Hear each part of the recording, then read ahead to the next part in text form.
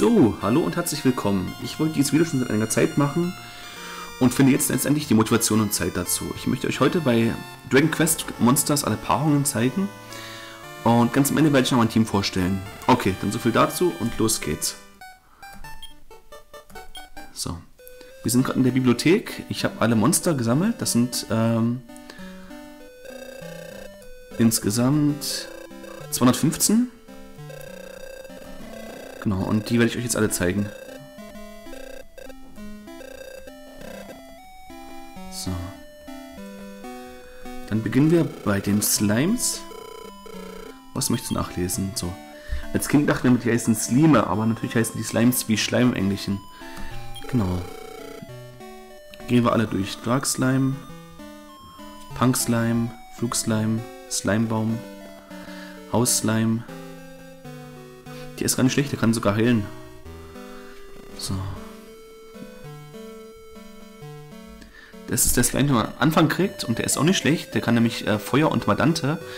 Und Madante ist die stärkste Attacke im ganzen Spiel. Der Heilslime ist auch nicht schlecht, den kriegt man auch relativ früh und der kann Allheil, was ziemlich cool ist, weil es die ganze Truppe heilen kann. So, Fangslime, Feldslime, Slimeburg, Slappy, Punking, Slime King, Erzslime, Lava Slime. Und der Gold. Und jetzt wir wieder am Anfang. Genau, beim Dark Slime. So. Jetzt die Drachen als nächstes. Mit dem Dragon Kid beginnen wir. Rüsttag. Der ist auch nicht schlecht. Der kann Gigasword, das ist ziemlich stark die Attacke. Und Dämonenhieb ist auch nicht schlecht. Giftäxte Dorntrag.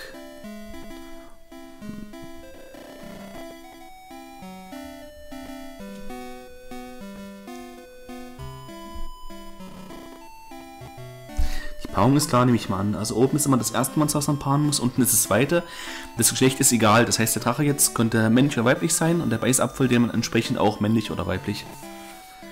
Genau, aber das müssten die meisten ja schon wissen. Ähm, den Saurus ist nicht schlecht. Der Megatrag ist auch gut, den braucht man für viele höhere Paarungen auch. Ich glaube, äh, Gotttrag und Megatrag macht einen Traglord, aber das sehen wir dann noch. Genau, die Hahnweber, Windweber, Bürger,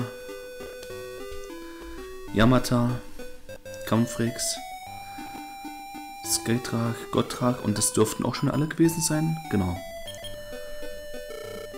Dann kommen jetzt die Biester dran als drittes. Das erste ist der Züngler. Ihr könnt das selber lesen. Catfly, Beast, Wollratte, Mino, Jabba,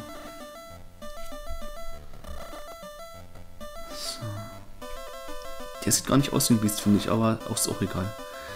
Ähm, Tänzer. Schon mal.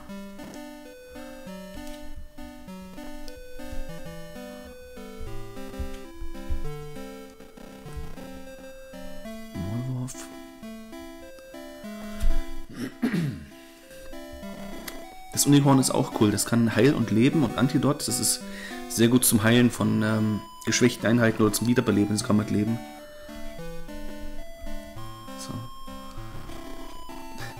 Aus zwei Affen ein Elefant wird und dann aus zwei Elefanten ein Löwe wird, verstehe ich bis heute nicht, aber das ist halt die Dragon Quest äh, Philosophie und Logik.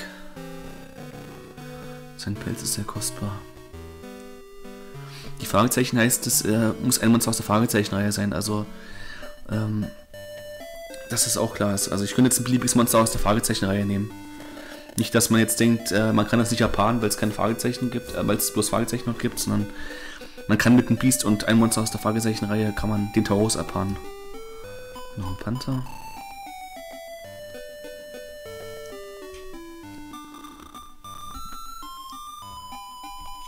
So, genau, da waren wir schon da gewesen. Jetzt kommen die Vögel dran.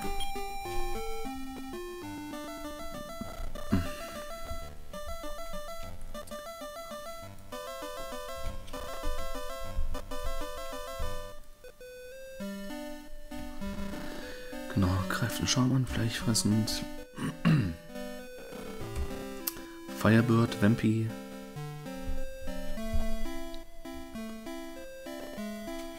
man die überhaupt mal paaren kann. Naja, die sind leicht zu fangen. Ah, Vogel, Feldslime, Kampfeule. Der Holger ist nicht schlecht, der kann auch Allheil und Mega X, das ist schon ziemlich gut.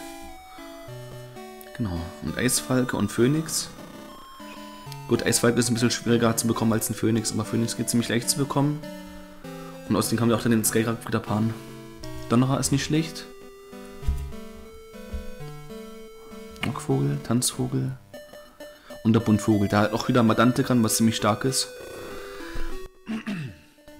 Genau, das waren auch schon alle Vögel. Dann geht's weiter mit den Pflanzen. Köder die Beute mit seinem süßen Baumsaft.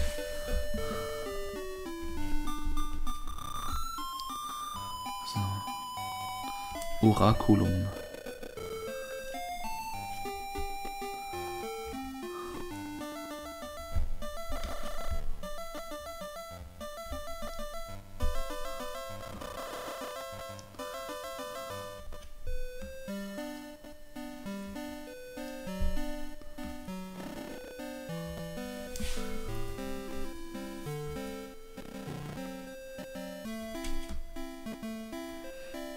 Mantragra.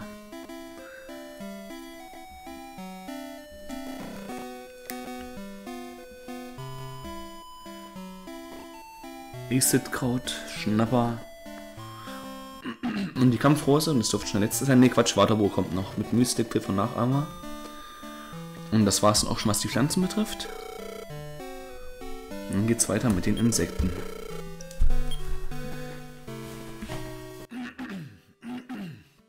Entschuldigung.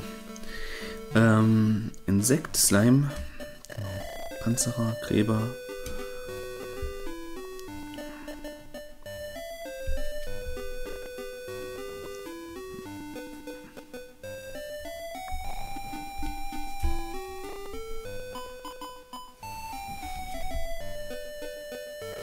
Ist auch nicht schlecht eigentlich. Er kann Feuer heilen und kann die Karte anzeigen lassen, der Oktopus.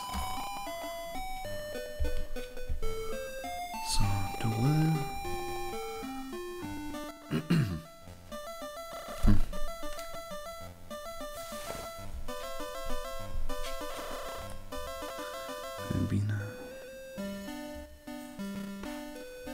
So. Der Hornkäfer ist nicht schlecht. Und Skorpion auch. Garnele, Schnecke und wir sind wieder durch, genau. So, jetzt die Teufel, das wird schon ein bisschen interessanter. Pixie. Arcdemon, Erzdämon eigentlich. Wir hatten mal als Kind gedacht, der heißt Arschdämon, aber er, er wird ja mit CH geschrieben, nicht mit SCH. Was kommt von Ark bestimmt, also Erz, denke ich mal. Erzdämon.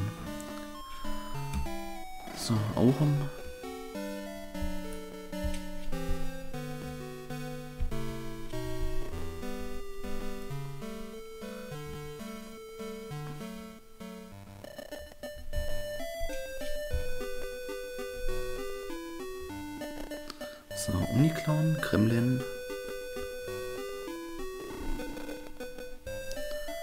Der Löwenhals ist auch nicht schlecht, der kann auch allhell, sehe ich gerade. Das ist ziemlich gut sogar. Kronmann braucht einen Taurus so. Explorant Eis. Ork Ogre.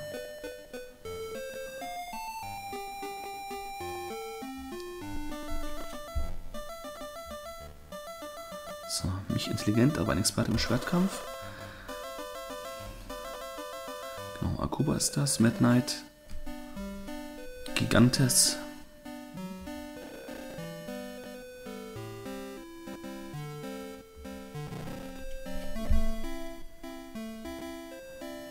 So, Yamiros ist nicht schlecht. Halb Vogel, halb Biest. Duran ist auch noch äh, Teufel, okay. Der Kampf ist an Leben sehr mächtig. Drahttöter. Gut, jetzt mal wieder am Anfang. So, und die Zombies kommen jetzt.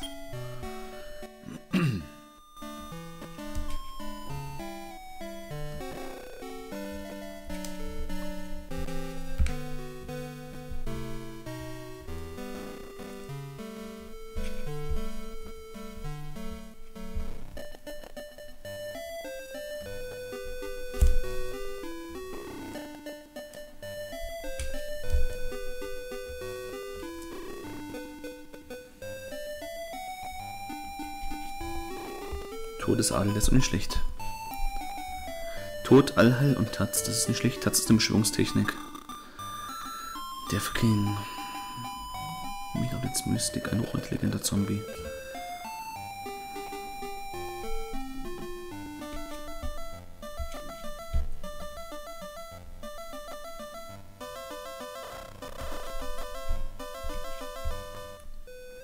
So, so Anfang wieder.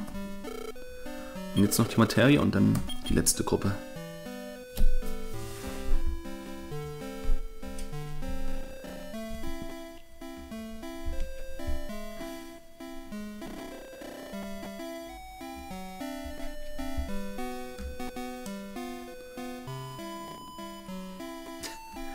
Wütend wird, explodiert er.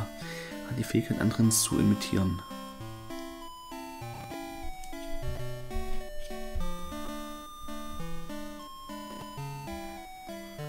Mad Hand.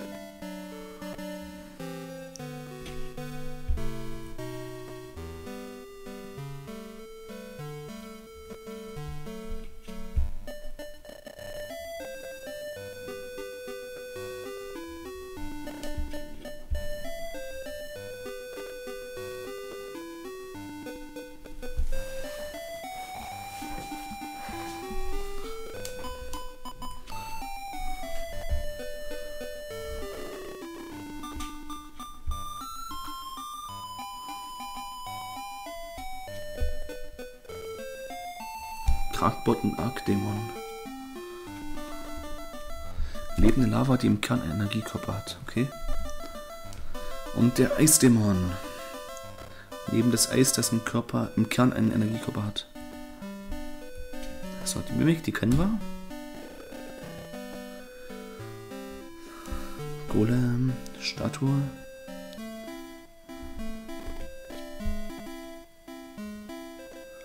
Und der Goldgolem aus Eisdämon und Lavadämon, der mit Big Bang auch eine sehr starke An Angriffstechnik hat.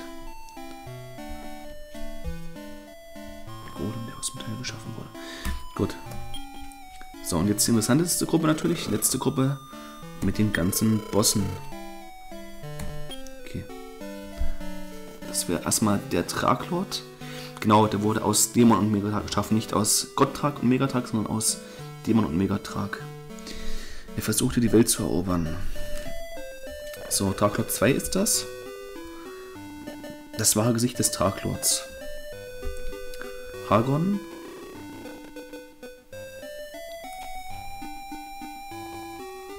Sido.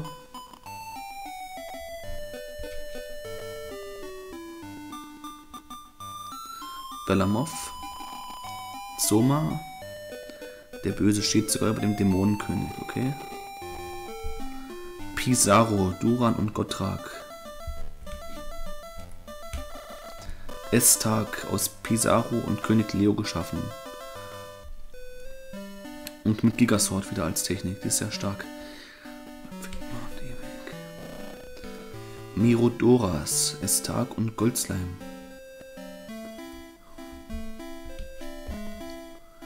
Mirodoras 2.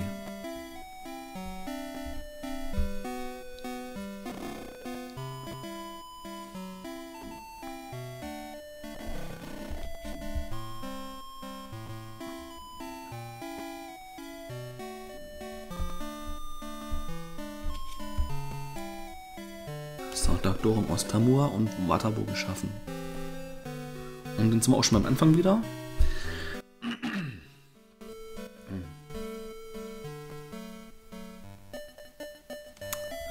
Gut, dann so viel dazu.